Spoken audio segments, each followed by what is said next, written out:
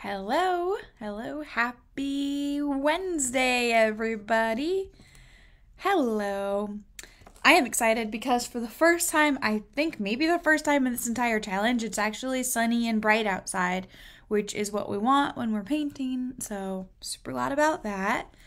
Say hello in the comments or give a thumbs up or a wave. Where's everybody watching from today? Who's here? Where you're you watching from? What has been your favorite flower lesson so far? There it is. Okay. I'll bring this down. So, cornflower. Who can tell me what is the first thing that we do when we're drawing a new flower?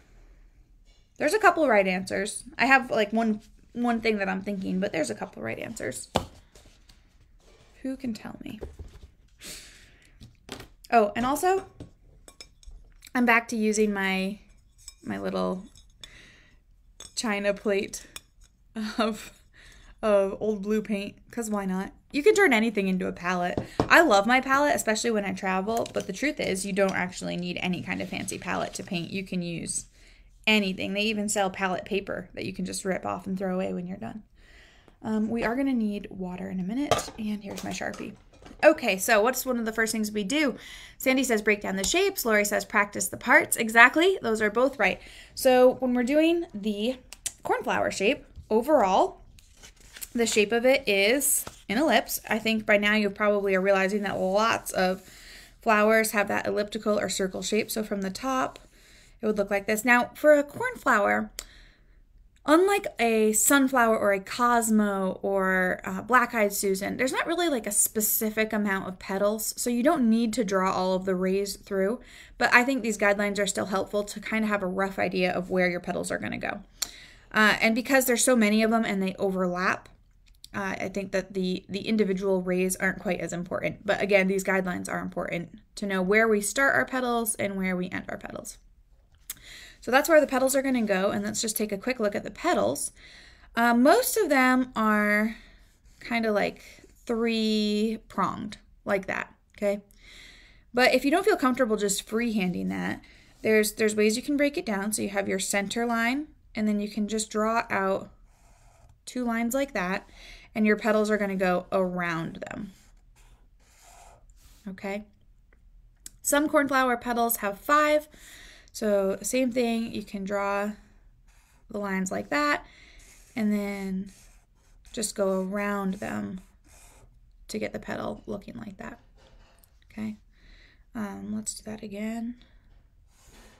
I didn't like that one that much, so I'm just to do this again. I want it sticking out a little bit more. So, yeah, more like that. Okay. From the side, it's it's pretty simple because we're not going to do too much detail because really when we draw this, it's just going to be um, the illusion of it. But what I am going to do is add a little bit of perspective. So that one right here, this middle line is a lot closer and this one is a lot wider. And then when we draw that shape in, it makes it look like it is coming towards us, right? Because it's larger on this side and smaller on this side. So from the other side to do that, just want these lines to be very close together and these lines to be a bit more spaced out.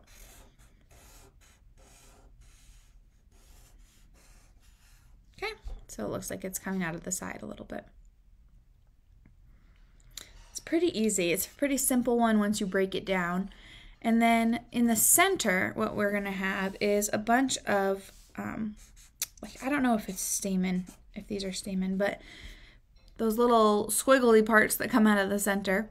Um, and we can apply some perspective to that as well and kind of go around the flower. So they're not all pointing the same way, but they're all kind of going in different directions. And then as they work their way in, these are just a bunch of little U shapes. They get a little bit smaller. Okay, so you still do have a little bit of perspective like that. So you can just practice making these out in different directions. And all of them, all of the openings are pointed right to the center. Okay, so then you can start to draw your petals in. And you're just using those guidelines roughly. It's not going to be exact. Okay, and this one is from overhead. And what I like to do is kind of stagger where I'm putting my first ones because there's so many layers. You want to be able to go back and put something behind it, behind this one. So you just kind of stagger it. And then when you go behind it, you lift up when you get to that petal, hover over it, and then put your pen down again when you get to the other side. Okay, so here I get to that one. I'm gonna and that I'm gonna lift up, hover over it, and then put it down on the other side, and that gives us um, I call that ghosting the lines in, and that just gives us better perspective so that it doesn't look like a petal is just floating in the air or something. Okay, so some of these I'm putting three little pointy parts. Some of them have a little bit more than that. Do five on this one. And you can draw each of those guidelines that we did over here if you need to, to start with. I'm just freehanding this in, but I'm using those, those guidelines, the circles. Okay, and there is a cornflower from the top. We would have our stem coming out of there, and they have very thin little leaves. Okay, pretty simple. Now, from the side, we're still going to do our general shapes. Um, and this is going to look more like an oval. And then it has a bit of a bulb coming down from it. Okay. And then the stem would come out of there. And then what I want you to do for this guideline is you're going to draw another pencil line roughly there. Okay, so that's about a quarter of the way, or you could do a third of the way up. And what that one is for is that any petals you draw below this line are going to be pointed down. Okay, and then any petals you draw above that line are going to be pointed up. Okay, and then we're going to have our larger ones back here. Okay, and we're just really giving rough lines Okay, and that guideline, and again, guidelines, we don't have to follow them strictly all the time, right? We can change it a little bit. But having that guideline there, it will help you make sure your petals are pointing in the right direction because not all of the petals on the cornflower just go straight up. Okay, and then in the center, you can still draw those, um, those little stamen. So again, it's it looks complicated, but then it ends up not being too complicated once we break it down. That seems to be the trend. Grab my watercolor paper here. And there's a couple ways that we can paint this um, to have it nice and loose. And you know, I like to do the loose with you with the watercolor because it's very easy once you draw this to just do watercolor and ink and to have that more realistic. So I think it's a little bit more fun to do the loose ones when we're just going straight to the paper.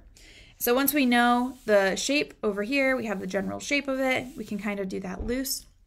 And I think that you know by now that one of my favorite ways to do loose painting is to just do water first and then to add the paint into it.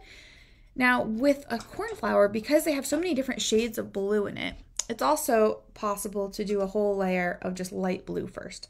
So I'll just show you what that would look like real quick.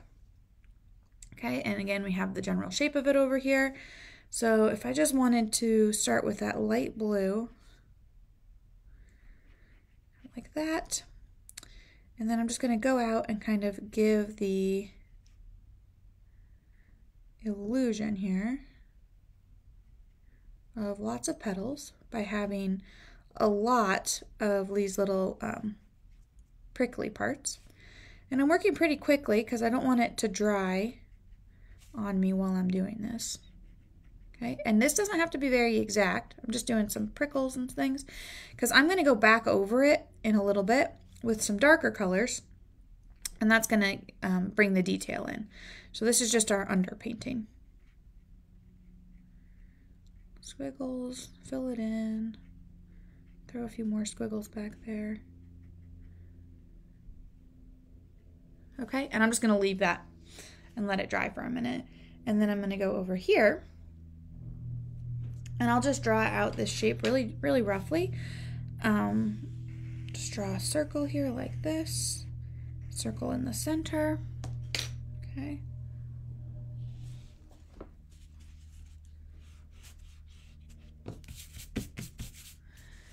And then I can start putting my petals in one by one with just water. Okay, so drawing that shape out that we've been practicing with water. Like this. And then grabbing some paint and dropping it in. And you can see that the water does most of the work there for you, right? And if you want to, you can push it out a little bit Okay, and now what this is doing is instead of starting with that base layer, you're turning really each petal into this its own little painting. Because once the water's there, I can add a little bit of purple in if I want. I can add other colors of blue in, like that. And then each petal kind of becomes its own little painting. I can lift up some of that if I want to. Um, and then as you work your way around and you have the guidelines here, it starts to look really beautiful uh, because each of them has similar colors, but they're not all identical. So I just drop those colors in. And remember, with watercolor, we can always go back and add more layers and more paint, so it doesn't have to be just perfect the first time you do it.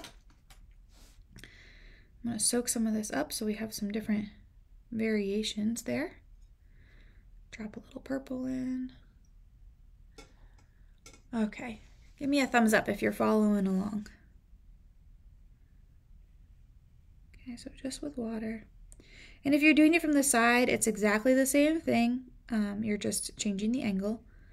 So you're still gonna have this perspective, but then the, the painting technique is the same.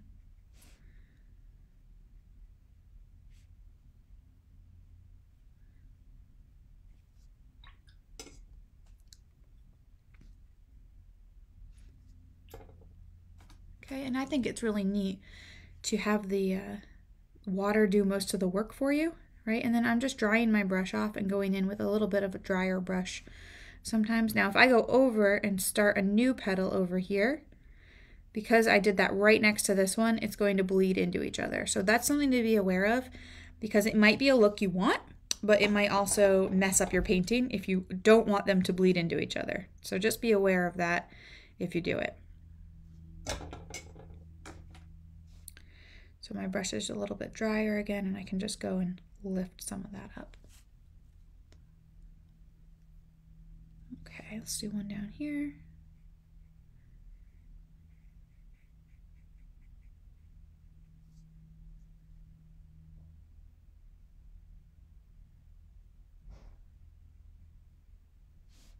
Do a darker one over here.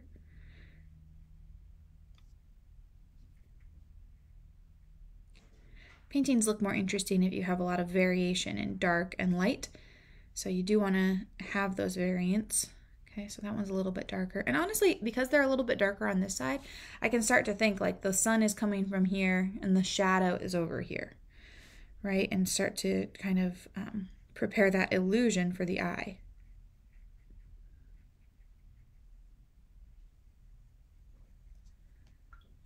Now, is anybody who's watching do any of you have the um, Instagram name of We Granny? If you do, let me know because We Granny on Instagram won the templates the other day, but I never got your address. So I'm going to write to you again on Instagram, but if you're here, let me know. I sent out the prizes to Mitchell and Janet and Janine. Anybody who's won a prize so far. Okay, so just adding these in. Do a watery one up here.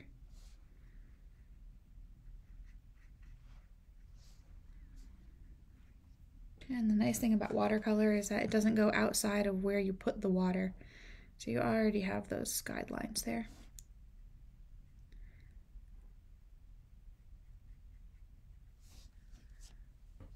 Okay, looking pretty good, huh?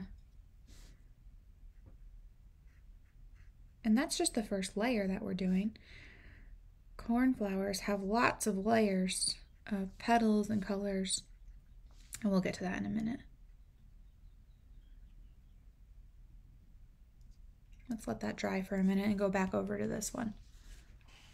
Oops, you guys got my notifications there. That's funny. Um, okay, so over here, now that we have this base layer down, we can go back with watercolor on our brush a bit a little bit darker and add some more detail in. Okay, and then that background turns into, um, it adds a lot of depth and richness as we go ahead and add some more color and some more layers in. Has anyone here ever done Noom? I started doing Noom this week. That's what that notification was.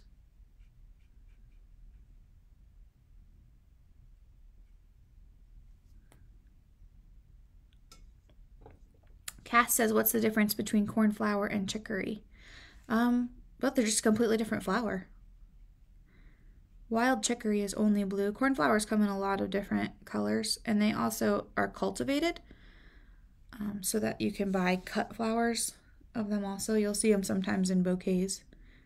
But yeah, just a completely different flower.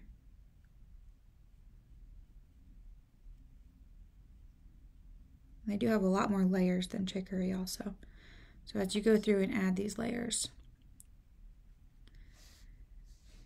you're trying to keep in the back of your mind that there's layers and layers of petals there. Okay, so with that one, you can just keep going, keep going, keep going. And then with this one over here, um, I think this is kind of the faster route and a little bit easier. I think this one looks a lot prettier. And then when we get to the center of that, you are going to have just a light blue center. Okay. And we could make it just a bit darker on this side just to give it that effect of the sun shining over here, the shadow being cast over here. While that's drying, we can go back and add a few more layers. And I'm just going to layer right over the ones we already have. And that's just going to give us a really cool layered look, which is what I want. That's what I'm going for. With watercolor, you can see um, through the layers if it's transparent paint. And I use transparent paint. So you can kind of see through them. And I think that looks really neat here.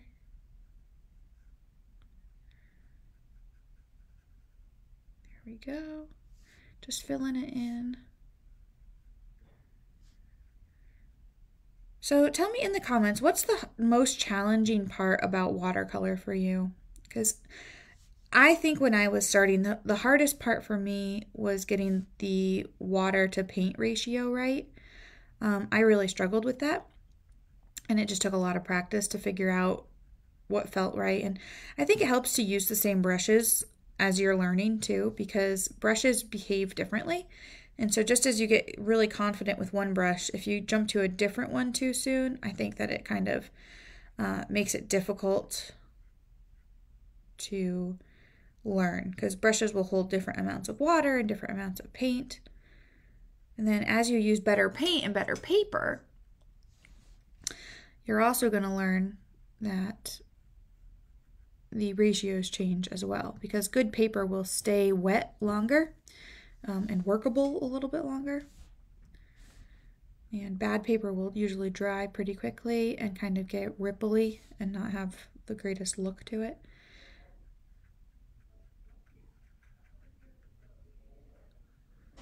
There we go. Okay, so I could keep doing that for a long time, just keep playing with it. Joanne says water is most difficult. Sandy says getting things to not look flat. Brooke says shading is difficult. Yeah. I can see all of those as being kind of kind of hard at the beginning. So the secret to having things not look flat is shading, honestly. So it's kind of connected. You know, you need to have contrast between dark and light. And a lot of people are afraid to have that. They want to keep um, everything kind of the same level of color. But see how this one looks kind of flat? It's because there's really only two colors there. And this one looks more dynamic because we have light and dark and a whole bunch of different colors. So that is an important thing to practice. Also, the consistency of the pigment, you know, that's a lot to get into in these free lessons, but in the membership, we can definitely go into more detail. But about the consistency of the pigment, if it's too watery, it, you're going to find it difficult to shade. You need to have a, a bit of a thicker consistency. Okay, so here in the center, you're still going to use that perspective and you're just going to kind of draw those parts in and it is still wet so I'm going to have to go back and add a little more detail to that later. And there's also some purple in these. Okay. So, and then it's kind of rinse and repeat, right? You can just, you can keep layering, you can keep adding more detail, you can keep adding more colors, um, and you just keep going and going. And then the way you would add a stem and leaves to this is pretty simple uh, because their leaves are not very complicated. So Queen Anne's lace leaves kind of complicated. These are not too bad. You just kind of put your brush down and push it down and just make it a little bit longer than you otherwise would, like that. And do that on a couple different sides. Wiggle it a little bit, and their their leaves are kind of um, basic. You know, they're they're pretty easy leaves to do, like that. Okay. So that's it. That wraps us up for today. Thank you all so much for being here. Thank you all. Have a great Wednesday. Bye.